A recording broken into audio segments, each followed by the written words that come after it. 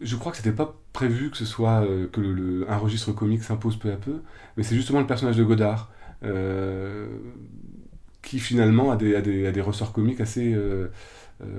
assez importants, puisqu'il est, il est à la fois ronchon, pas très content, un peu, un peu pingre comme sont les Suisses, et puis en même temps, il est, il est, il est